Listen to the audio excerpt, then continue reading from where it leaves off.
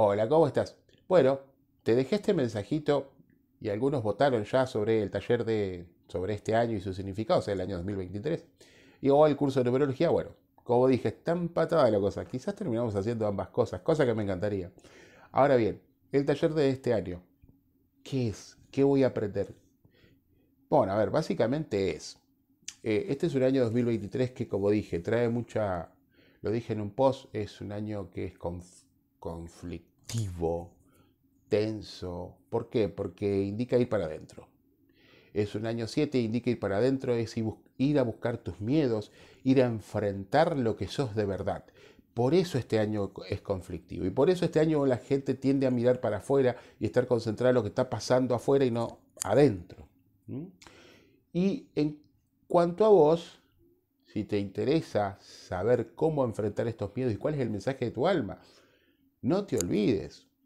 Nosotros somos un alma, somos seres de luz y ahí está la respuesta. Venimos con la respuesta desde que llegamos acá. A través de numerología lo que vemos es, bueno, ¿cuál es el mensaje?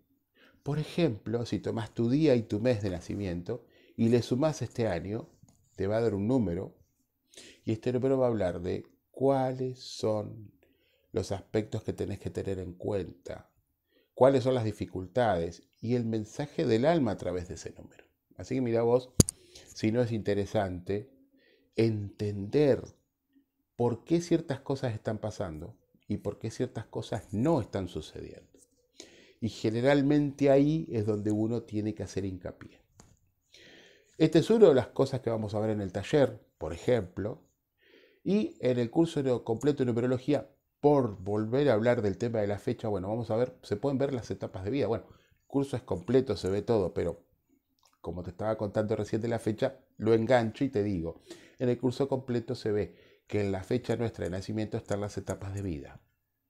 Cada etapa asignada por un número que va a contar que ciertas experiencias sucedieron en determinado momento para que uno hiciera un aprendizaje. Por eso las dificultades, por eso eh, los desamores, por eso las pérdidas. ¿eh? En realidad son mensajes para que despiertes.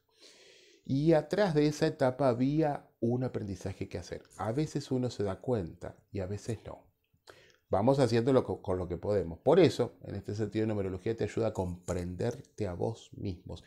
Es entender el mensaje de tu alma. Así que bueno, Vota por alguno de los dos aspectos. Yo te voy a seguir contando más cosas de lo que vamos a ir viendo en el taller o en el curso. Así que bueno, después anda votando y contame qué te gustaría.